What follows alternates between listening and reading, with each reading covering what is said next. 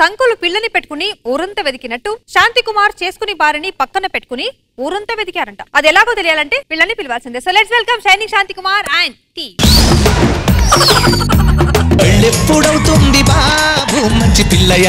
అసలు గుర్తు పెట్టుకోండి మనకి పెళ్ళిని సెట్ చేసే ఆయనకి చాలా కోపం ఎక్కువంట. మన పక్కకైతే ఆయన వచ్చేస్తున్నాడు. నేర్పాలని అనుకున్నా కన్నా ఎదిగిన నిన్ను చూస్తున్నా నాన్న. ఇదంతా చూసి నిజంగా మా అబ్బాయి అనుకున్నారు. వీడు నాకు గుదిబండ తప్ప ఇంకేం అవ్వడం. గతంలో నేను దిక్సూచి అని ఒక మ్యారేజ్ బ్యూరో పెట్టుకున్నాను. వీడు నా చిన్నటి ఫ్రెండ్ కొడుకండి. అప్పట్లో పాతిక రూపాయలు అడ్వాన్స్ ఇచ్చి వీడికి పెళ్ళి చేయమన్నాడు. ఇప్పటికి వీడి మీద పాతిక వేలు ఖర్చు పెట్టా కానీ పెళ్ళి సంబంధాలు ఎక్కడ కుదరట్లేదు. ఒక్క సంబంధం కూడా కుదరట్లేదు చేస్తా చేస్తా. ఏ క్షణానన్నా పెళ్ళి కుదరొచ్చని తాలిబొట్టు పట్టుకుని తిరుగుతున్నాడు మరి. పాపం మనిషి చూడటానికి ఇలా కొండలాగా బండలా కనిపిస్తాడు కానీ మనసు వెన్నండి. మనిషి ఆశాజీవి. ఏదన్నా మంచి పేరు ఉంటేనే పెళ్ళి కుదురుతుందని ఆ మధ్య రోడ్డు మీద ఒక రేప్ కేసు జరిగితే గుర్తింపు కోసం ఆ కేసు వీడి మీద వేసుకున్నాడు వీడి మీద వేసుకున్నాడు. సార్ నమస్కారం సార్. ఆ నమస్తే నమస్తే. అందరూ టాప్ లెస్లు అయిపోయాయి మాత్రం కుదరట్లేదు. చెప్పు నీకు ఎలాంటి అమ్మాయి కావాలి? సార్ మీరే కరెక్ట్గా చూసి చెప్పండి సార్. ఇంకా చూడడానికి ఏముంది అక్కడ? ఎల్బి స్టేడియం తప్ప? ఎల్బి స్టేడియం తప్ప? నాకు ఇంకొక చిన్న బాధ్యత ఉంది. చెప్పండి సార్.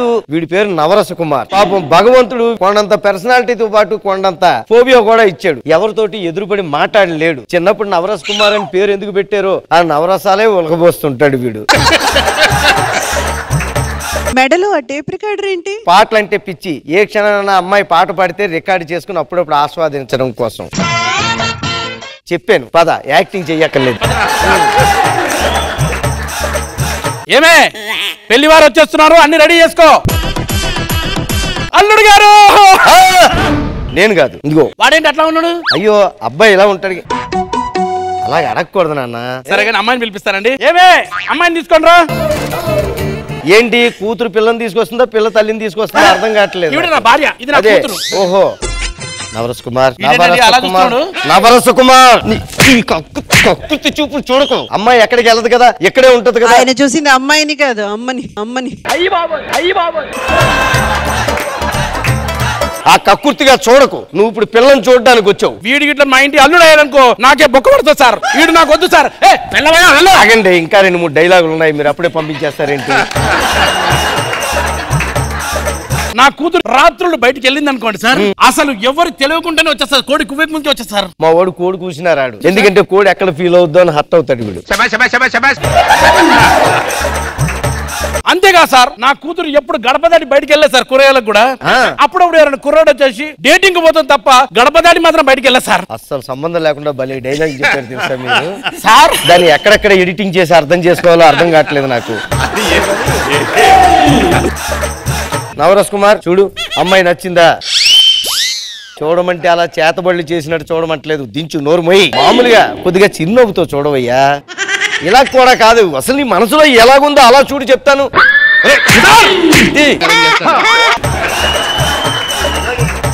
వాడేంటి సార్? అలా చూస్తాడు? ఈ సంబంధం నాకు వద్దు సార్. వద్దు సార్ నేను వెళ్ళిపోతాను సార్. రండి. మేము వాళ్ళ ఇంటికి వస్తే వాళ్ళు వెళ్ళిపోయారేంటి? మనం కదా వెళ్ళాలి. మా పక్కింటి అమ్మాయి. ఏమ్మా ఎక్కడికి వెళ్తున్నావు? కాలేజీకి వెళ్తున్నావా? ఓకే నాన్న వెళ్ళి బాగా చదువుకో నువ్వే. మందు బాబులం మేము మందు బాబులం. మందు కొడితే మాకు మేమే మహారాజులు. ఇవాళ మా ఇంటి పెళ్ళి చూపులకు వస్తున్నారు. ఏమండి మీరు కూడా వచ్చి ఆశీర్వదించాలి. ఏయ్, నడవా, నడవ. ఎవరు రాడు మా ఇంటి పెళ్ళి వెళ్ళం అండి. ఈ అబ్బాయి పెళ్ళి కుమారుడు. హలో! నీ అమ్మ భయం వేసింది అలా ఉంటాడు కానీ చాలా మంచివాడండి. కాదు సార్ మంచిగా స్కాచ్ బాటిల్ నున్నగా ఉంటే నువ్వే అబ్బా, పెళ్ళి కూడా కనుక్కున్నా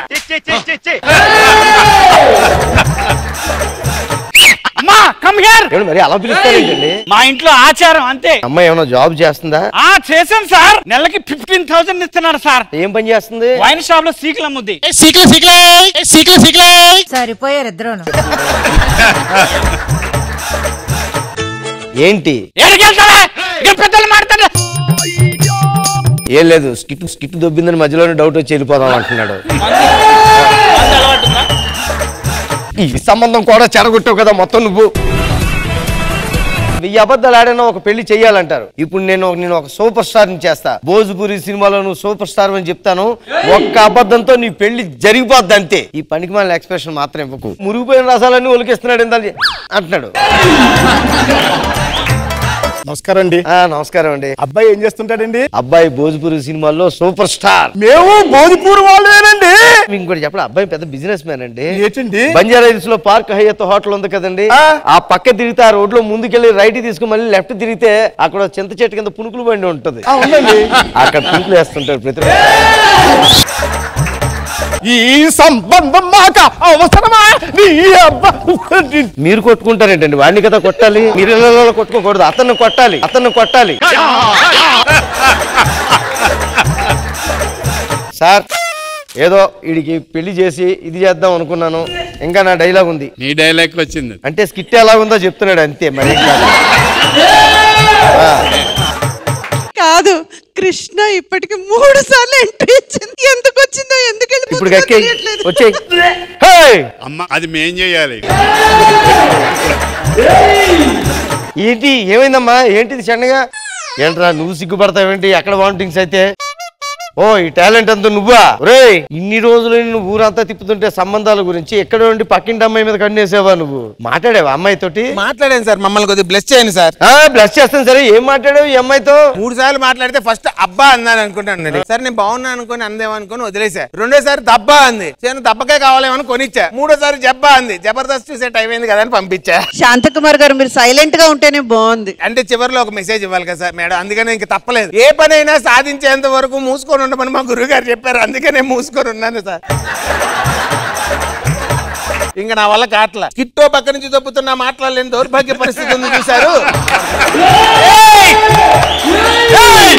బాబు ఇతని కోసం ఒక సాంగ్ వేసుకోండి. మౌనమే నీ భాష ఓ మూగ మనసా.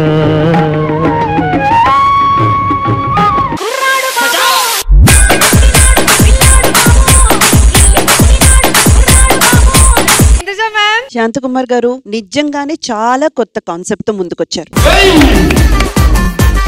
ఒక టీమ్ లీడర్ అయ్యుండి మీరు ఒక్క డైలాగ్ కూడా మాట్లాడకుండా ప్రతిదీ ఎక్స్ప్రెషన్స్ తోని పలకడం అండ్ రాఘవ గారు రోజు రోజుకి మీ మీద గౌరవం పెరిగిపోతుందండి. బికాస్ ఎవరు హెల్ప్ అడిగినా ఎవరి స్కిట్లోకి వచ్చినా మీరు మీ స్కిట్కి ఎంత న్యాయం చేస్తారో అంతే న్యాయం చేస్తున్నారు. And Phani garu super performance చాలా బాగా చేశారు ఈ రోజు well done Shantakumar garu. Well done. Krish garu ఏం చెప్తారు? చాలా బాగుందండి శాంతకుమార్ గారు. మాటలతో ఎలాగా మనం నెగ్గలేకపోయాం మాటలు లేకుండా అన్నాం చూపించాలి సత్- సత్తా అన్నట్టు చూపించారు. చాలా బాగా చేశారు. బాగుంది. All the best